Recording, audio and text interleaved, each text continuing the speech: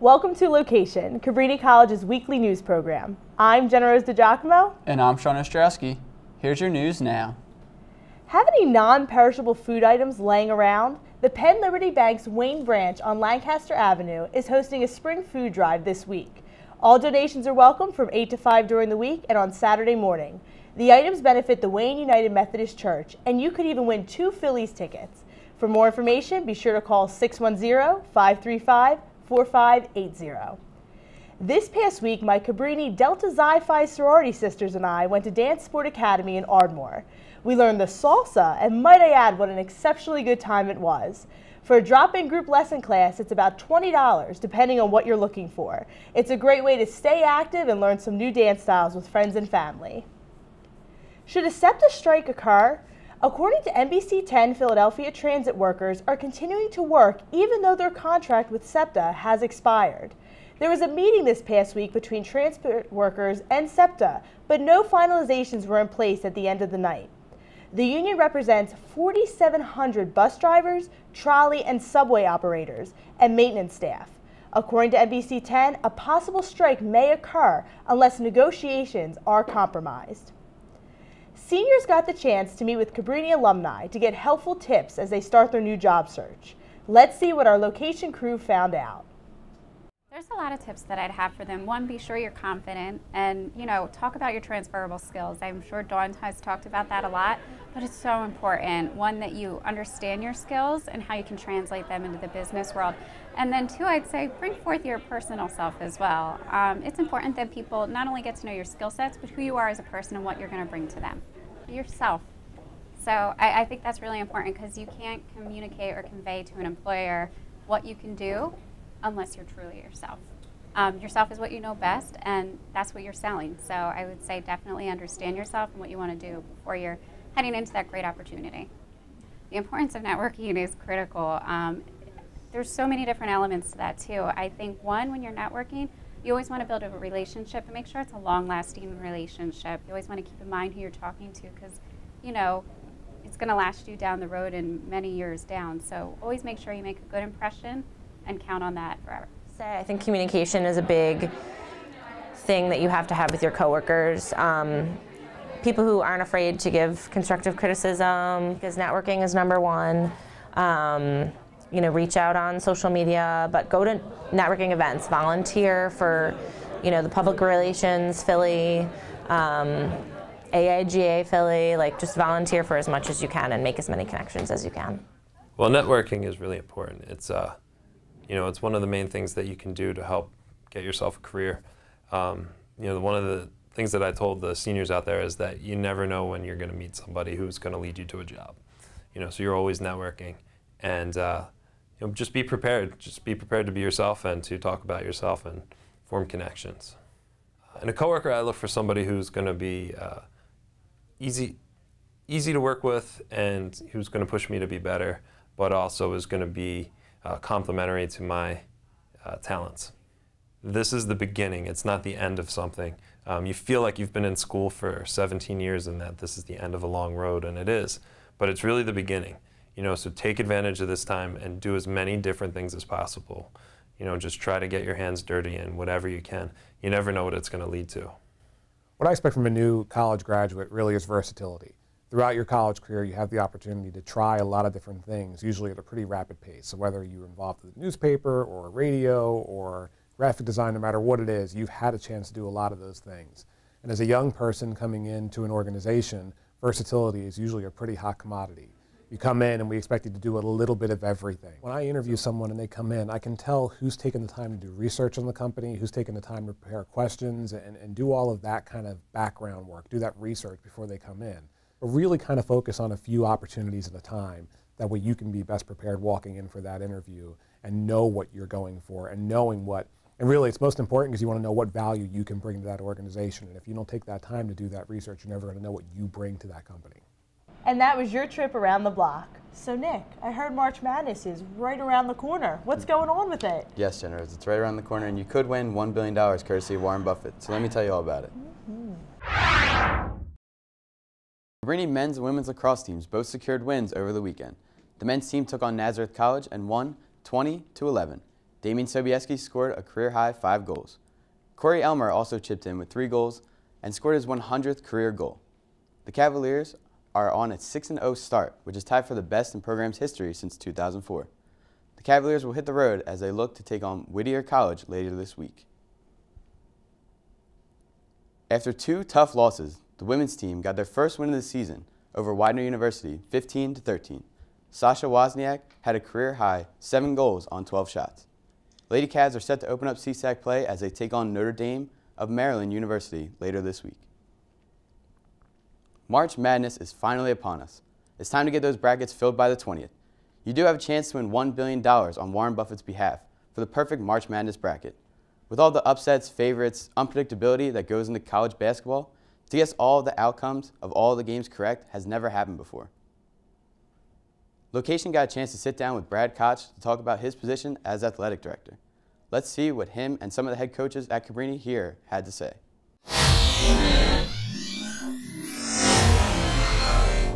My name is Ken Prothero. I'm the women's soccer coach here at Cabrini College. I've been here since 2000 and we've had a lot of athletic directors in that time.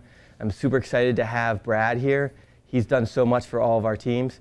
He's always around, always accessible. Just last week, uh, I had a recruit here from northern New Jersey and it was during a game. He took the time, came in the stands and, and spoke to her, took time out to speak with parents as well. Uh, that kind of hands-on on stuff from an athletic director is so huge. He's a great problem solver, and I hope he stays here forever. I found out about this position at Cabrini through a colleague, um, and I did know the previous director of athletics, Joe Junta, uh, fairly well, and um, we actually had some contact uh, when the process was open, and fortunately was able to get a phone interview and an in-person interview, and well, here I am. Brad has just been such an excellent addition to the Cabrini Athletic Department. He really understands the Division three philosophy. He always puts the student athlete first, which is something I really appreciate as a coach and also the coordinator of student athlete wellness. So I don't think um, you know we couldn't be happier with you know going into the basically Brad's finishing his second year, and I think overall that you know all the coaches, all the student athletes are so pleased to have him here as our leader of our department. All right, I'm Cindy Eichler, the head men's and women's swimming coach. I've only been here two years. Brad was actually hired a little bit after I was, and uh, he's definitely one of our biggest support systems. He's incredibly easy to talk to, to work for. He's the type of um, boss and athletic director that you want to work for and um, he's been incredibly supportive of this program that we're trying to build here with swimming, um, always trying to get us what we need, um, always looking out for us, and um, I couldn't be happier working here, and I think a big part of that is working for Brad. Yeah. At the time, Philadelphia College of Textiles and Science, which is now Philadelphia University, um, and started off in an entry-level position there in, in, collegiate athletics, and worked my way up uh, the ladder per se, and, and was an associate director of athletics for eight of the 15 years that I was there. And fortunately for me, this position uh, became available and moved right into a director of athletics position here about a year and a half ago. So come August, this August, it'll be two full years.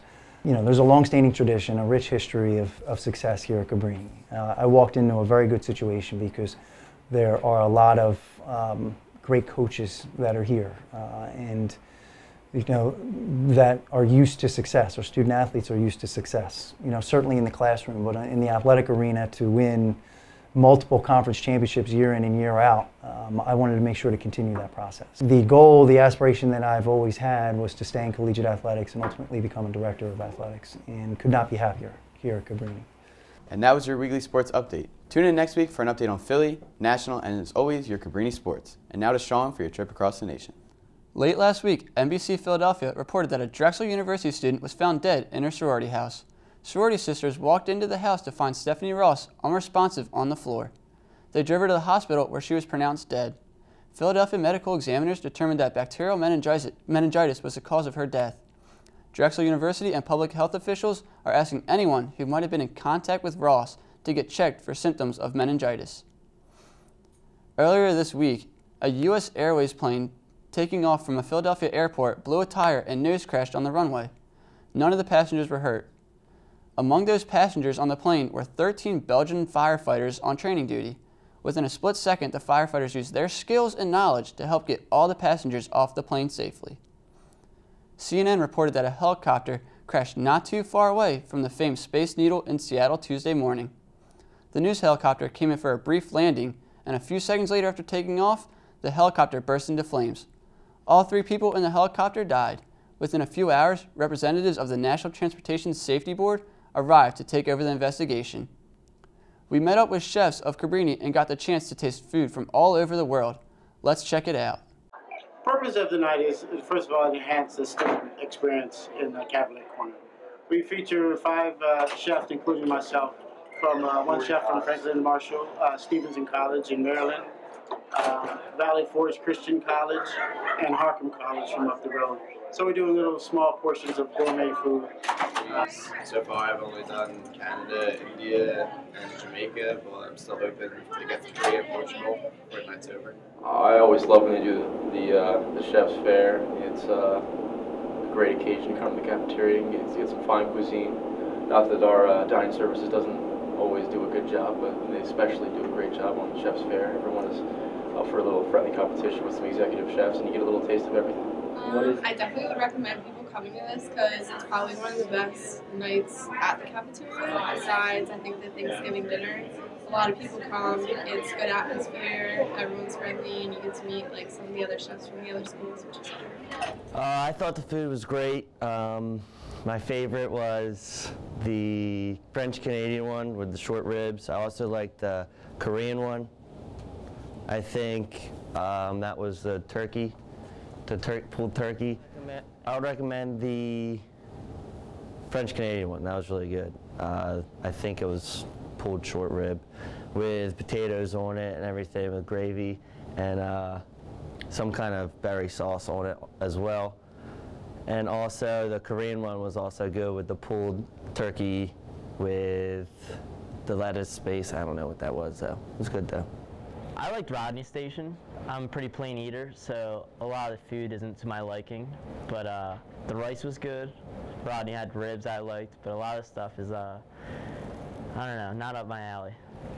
I how the music was playing and everything. It just set for like a good environment, and uh, a lot more people come out to this instead of going to Jazzman's, which is nice to see instead of an empty caf for once.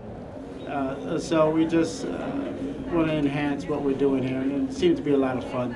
Uh, not only for the students, uh, we hope, but uh, as a as a chefs too, we get to explore some different culinary things that we wouldn't do on a day-to-day basis. And that was your trip across the nation.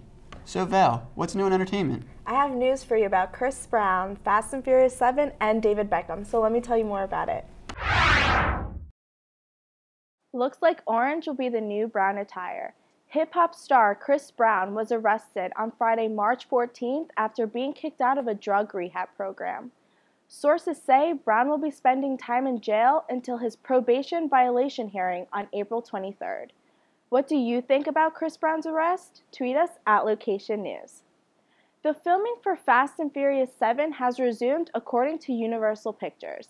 The cast and crew are back to work less than four months since the tragic death of Paul Walker, who passed in November. Reports state that Walker had already shot numerous scenes for the film. Despite Walker's tragic death, producers have made the decision to keep the scenes he has already shot. I wonder how the movie will be saying goodbye to Paul Walker's character, Brian O'Connor. Fast and Furious 7 will hit theaters April 10th, 2015. There is no surprise here. David Beckham has been named Underwear Model of the Century by Tommy Hilfiger in a recent interview. If you've seen David Beckham's shirtless underwear ads for H&M and Armani, there is no arguing with Hilfiger's statement. Let's admit it. We all know David Beckham definitely deserves that title. Cabrini College got the chance to present Sister Simone Campbell with the Ivy Willis Award. Let's meet Sister Simone and check out her award. I'm Sister Simone Campbell, and I am the Executive Director of Network, that is a national Catholic social justice lobby based in Washington, D.C. We have members all over the country. I'm a Sister of Social Service, that's my religious community, and I am the sort of well known for the, being the leader of Nuns on the Bus. We work in Washington, D.C. to try to help create laws that are based in Catholic social teaching, that are based in social justice, and uh, lift up the, the perspective where everyone is included. We leave no one out of our care. So at Network, at our organization, we are a staff of about 12 full-time people. And then we have what we call an associate program, which is for uh, recent grads to come and work for a year with us, doing um, advocacy, education, and organizing to affect federal policy. And I met this wonderful young woman, a 24 year old, uh, when I got to be at the White House to see uh, President Obama signing the executive order to raise the wages with the federal contract workers. And she told me that she works full time in a, a store from a national chain of clothing stores, and she makes minimum wage. And she says to me, You know, you wouldn't be able to tell by looking at me that I have to live in a homeless shelter because I can't afford rent. I don't make enough money to pay rent. And I thought, whoa, that's wrong. That is wrong. That's what we do is we take real people's stories and we use it to express what we need to do as a nation to make us a more perfect union. But I must say the best part is for me is connecting with students and with the good work that's being done here. It is awesome to me the commitment of the school to integrate our Catholic principles into the whole curriculum. And so it is a huge honor to receive this award and to be able to share this moment of caring together about mission and about what really matters. And to give a voice to those who are voiceless, to persistently advocate for immigration and healthcare reform, to fight for the economic equality of those who are marginalized. It gives me great pleasure to present Cabrini College's Ivy Young Willis Award to you. I'm Sister Simone Campbell on location, for LOQation. That was your weekly entertainment update. Now let's check in with Jenna Rose for your news around the world. Sad news continues to circulate around the growing mystery of Malaysian Airlines Flight 370. It's not known how the plane flew straight over the Malaysian military and wasn't identified. With many questions unanswered, it's becoming even harder to find the missing aircraft, according to the New York Times. The home of the flight's pilot was searched this past week, and now authorities are turning their focus to the flight attendants and co-pilots aboard the aircraft. The Paralympics came to a close this past week in Russia, but will never be forgotten, according to the New York Times. The Paralympics competition takes place after the regular Olympics finish and is a chance for disabled athletes and those wounded in Iraq and Afghanistan to play in the Winter Games and to pick up their spirits. The Paralympics will always be a place for those willing to try, according to United States Olympic Committee's Chief Charlie Huebner. They are already underway in search of athletes for future games, and according to one soldier, he didn't know what he would be doing if the Paralympics didn't exist. New evidence reports that the Pakistani doctor accused of spying for the United States CIA to help find Osama bin Laden jail sentence has been changed. His time has been reduced by 10 years. According to the New York Times, the doctor had set up a phony vaccination campaign in the hopes of collecting DNA samples from bin Laden's relatives. Thanks for catching up with us this week. For LOQation Weekly News, I'm Jen Rose DiGiacomo. And I'm Sean Ostrowski. Stay up to date throughout the week by following us on our social media platforms. Simply search LOQation News. Have a great week, Cabrini.